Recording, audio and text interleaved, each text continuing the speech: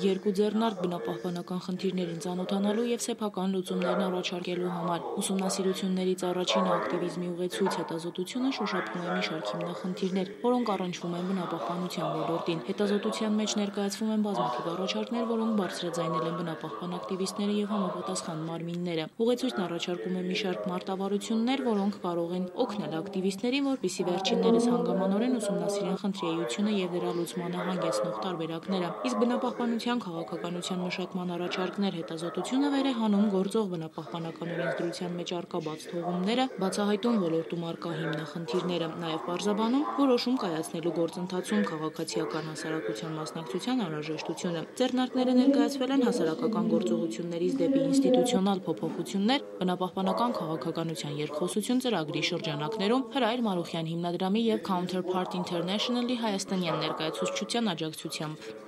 Ծրագրի նպատակն է ուսումնասիրել բնապահպանական ակտիվիզմը, որը տեղի ունենում Հայաստանում, եւ այն դարձնել ավելի ինստիտուցիոնալ, ավելի հաստատութենական, որpիսի մյուս կազմակերպությունները, կառույցները կարողանան այն օգտագործել իրենց քաղաքականությունները մշակելիս կամ նմանատիպ գործառույթներ իրականացնելիս։ Ծրագրի հիմնական նպատակը կայանում էր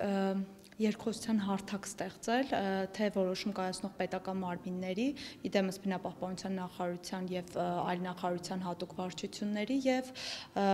բնապահպան ակտիվիստների եւ շարքային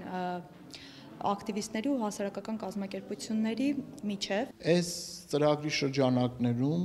փորձ էր արվել լսել Հայաստանի բնապահպանական հիմնական խնդիրների շուրջ բնապահպան ակտիվիստների տեսակետը, պետական լիազոր մարմինների տեսակետը եւ տարբեր շահագրգիռ կազմակերպությունների տեսակետները եւ դրանք համադրելով առաջարկել